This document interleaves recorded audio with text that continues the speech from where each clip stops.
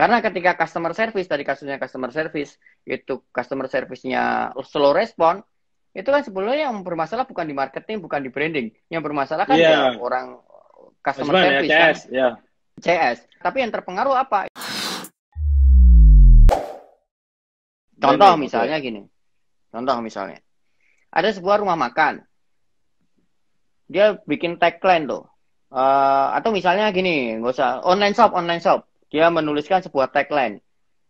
Dibalas sebelum Anda berkedip. Wah, ini kan keren banget tuh.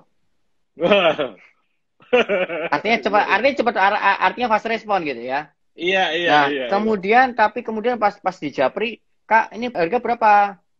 Seminggu kemudian baru dibalas. Tuh, gagal branding dong. Nah, nah gitu dong. kan?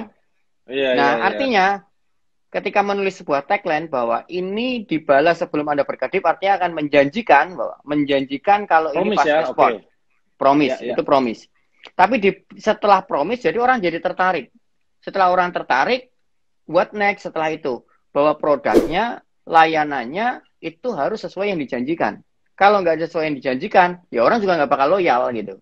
Iya, Nah, iya, iya. Sehingga menurut saya bagian dari operation cara kita mendevelop produk, cara kita mendevelop layanan supaya kita bisa menepati apa yang kita janjikan, menurut saya itu adalah bagian dari branding.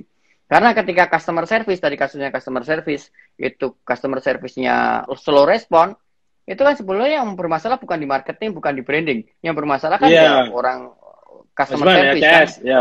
CS. Tapi yang terpengaruh apa? Yang terpengaruh ya keseluruhan secara Semua. keseluruhan gitu. Kesemuanya gitu kan. Misalnya kalau di rumah makan ya misalnya kebersihannya, cleaning service-nya kurang rapi, kurang bersih, ngebersihin toilet yang toilet kamar mandinya. Konsumen misalnya jadi jorok gitu, konsumen nggak mau balik lagi. Ya salah memang cleaning service. Tetapi yang kena dampak dari brand itu siapa? Ya keseluruhan dari brand itu. Bukan cleaning service-nya, bukan bagian operation-nya. Kemudian ketika marketing, sales, kemudian sulit untuk mencari orang untuk datang ke restoran itu kembali, yang disalahin biasanya kan orang marketing. Padahal dalam, Iya, benar. Mungkin tadi kasusnya kan orang cleaning service gitu, Kang. Iya, iya, iya. Ini juga sering terjadi tuh ya. Jadi pada saat scale up ya udah genjot gila-gilaan se- secara marketing jeder. Betul. Eh ternyata CS-nya kesuwen ya terus juga operasional banyak gagal kirim segala macam. Ya, rusak betul, malah betul, bener ya? Iya, iya, iya, Eh, betul, betul. ba- bahasanya tuh gini mas kalau saya ya. Pas pas pas sepi stres ya. Pas apanya? Pas pas sepi protes, pas rame stres. Oh, pas sepi protes. Protes pas rame stres. Udah nggak pas Nah. sepi itu mana ini marketing ngamuk-ngamuk gitu kan. Nah. Pas giliran rame, oh, komplain muncul stres. Ya. Berarti ini holistik banget makanya branding Iya, juga betul, perlu betul, dilihat betul, dari betul. sudut pandang manajemen ya tadi kayak CS dan segala macam. betul, betul, betul.